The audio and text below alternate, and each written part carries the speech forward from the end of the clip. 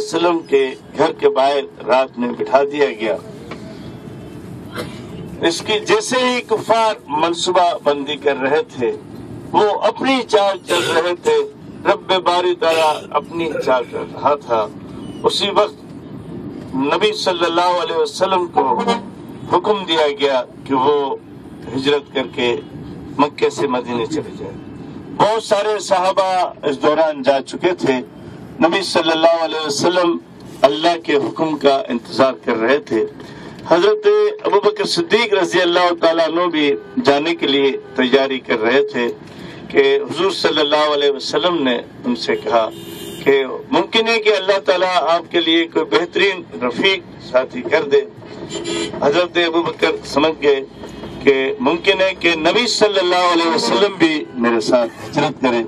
इसलिए वो इस बात के मुंतजर थे कि जैसे ही कोई हुक्म हो, हज़रत अबू बकर सदीक और हज़रत सल्लल्लाहु अलैहि वसल्लम जो है मिलकर इस सफ़र पर रवाना हो।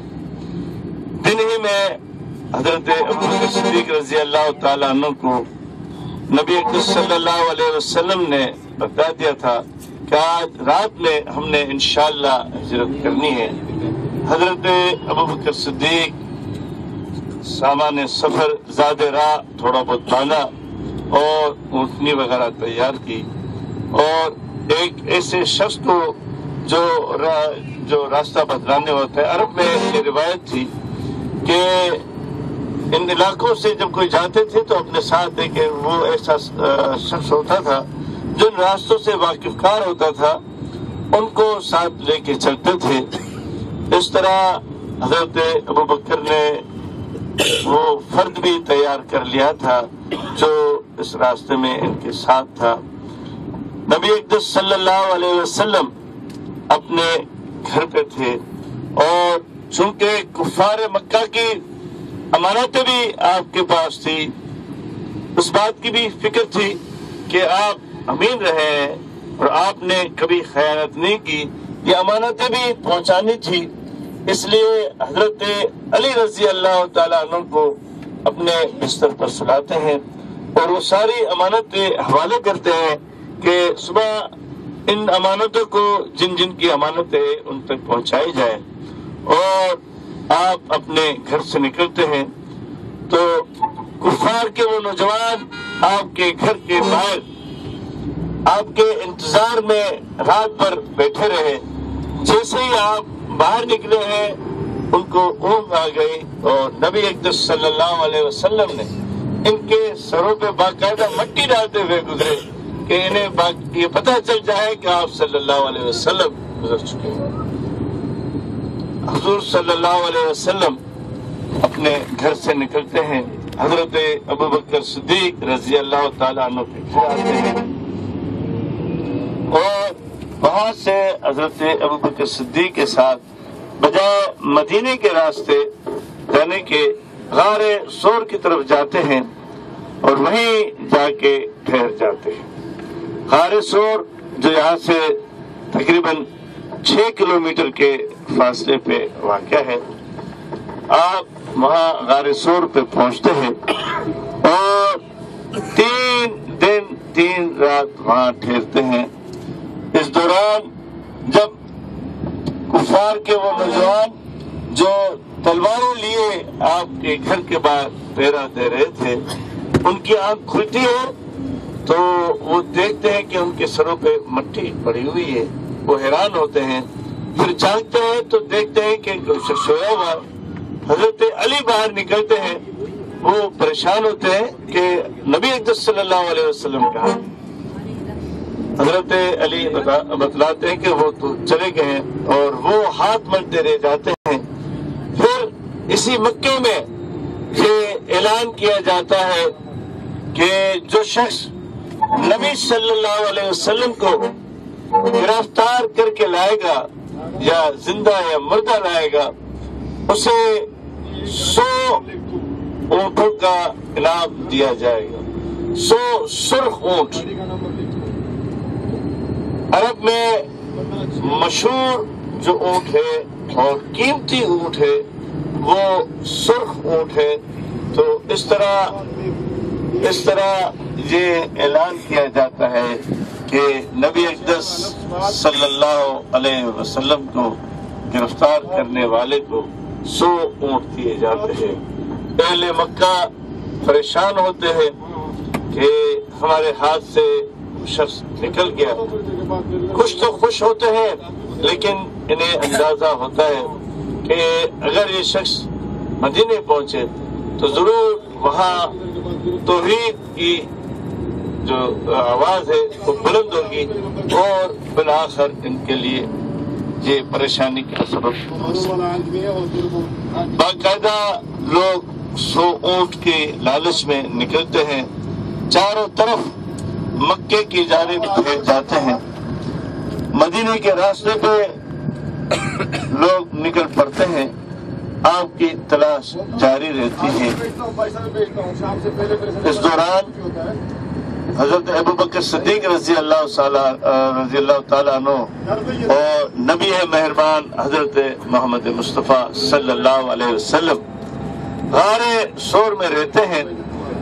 वहाँ भी कुछ अफराद तलाश में पहुँच जाते हैं।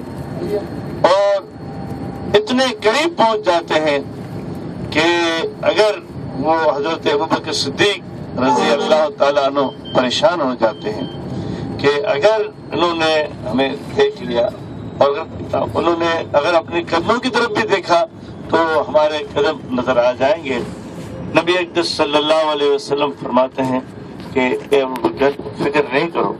अल्लाह हमारे साथ इस तरह आप गारे शोर में रहते हैं।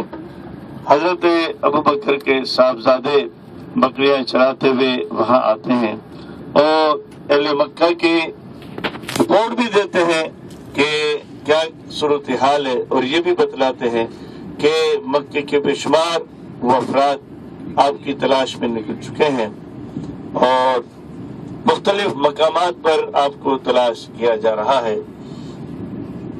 यही वो सिलसिला था कि वो सौ ऊँट की लालच में बेशुमार लोग निकले हैं।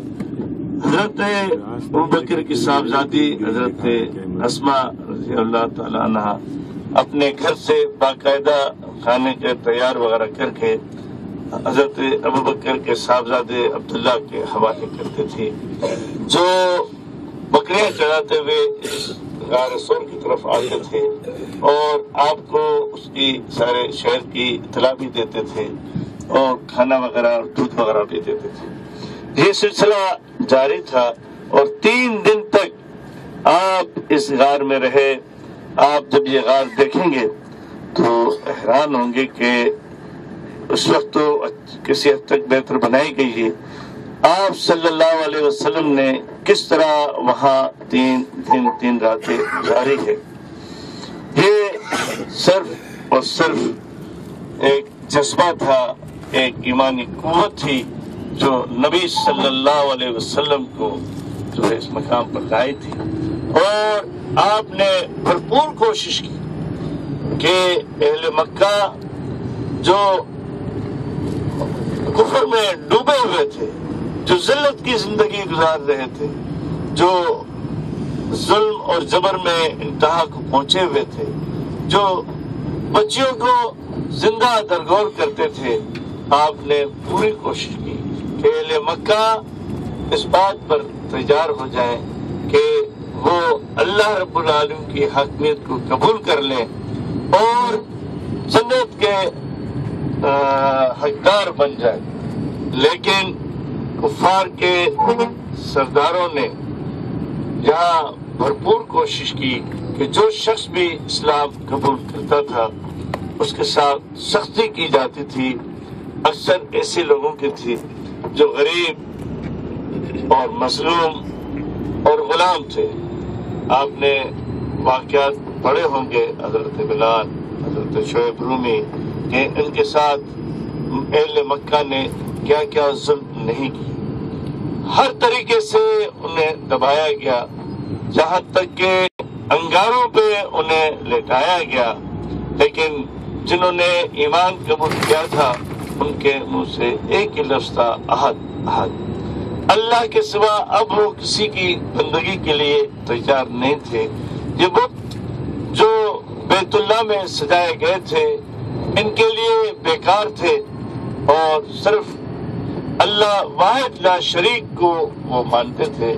इसी के नतीजे में पहले मक्का ने इन्हें सजाए थी और इस बात की कोशिश की कि वो दीन छोड़ दे, हर तरह की लालच दी गई।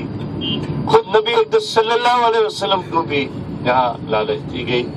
वो वाक्य मशहूर है कि जब नबी सल्लल्लाहु अलैहि वसल्लम अपनी तबलीग करते थे तो कुफार मक्का के सरदार परेशान हुए।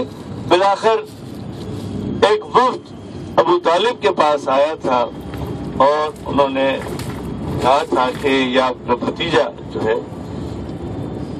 वो हमारे खुदाओं को बुरा भला कहता है, हमारे और तुम्हारे खुदाओं को चूँकि अबू तालिब भी इस्लाम कबूल नहीं किया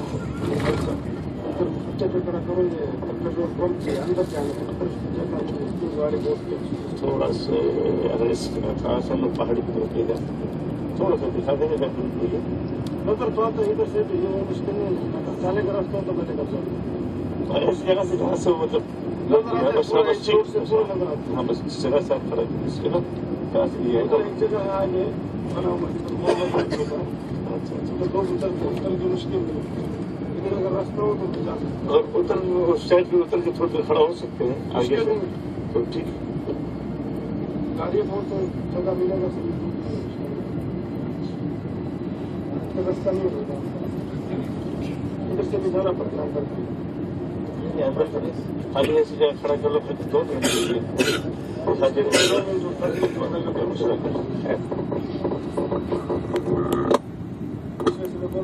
हूँ नहीं, नहीं, अंदर से जाना भी मुश्किल और फिर निकलना भी मुश्किल। हाँ का बड़े जाना और लेट उनके बहुत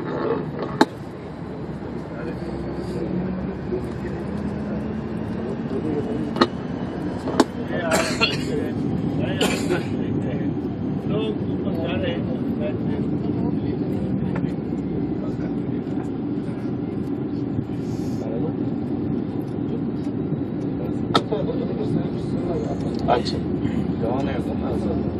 आगे अच्छा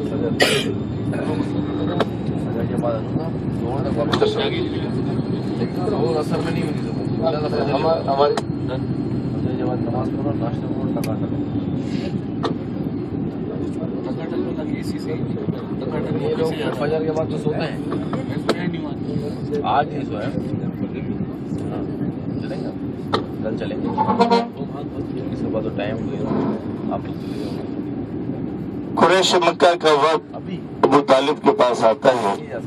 और हुजूर सल्लल्लाहु अलैहि वसल्लम को अबू तालिब बुलाते हैं। कुरैश मक्का के सरदार आपको पेशकश करते हैं कि आप चाहे तो हम मक्के का आपको सरदार बना देते हैं। आप चाहे तो मानो दौलत जो चाहते हम देने के लिए तैयार हैं। आप चाहे तो आपके किसी बड़े से बड़े खानदान में शादी कराएँ।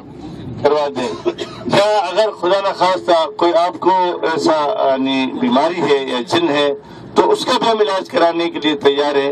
आप हमारे बुतों को बुरा भला न कहें और आप हमारे वसल्लम ने फरमाया था कि मैं तोहीद को छोड़ नहीं सकता, मुझे किसी चीज़ की लालच नहीं।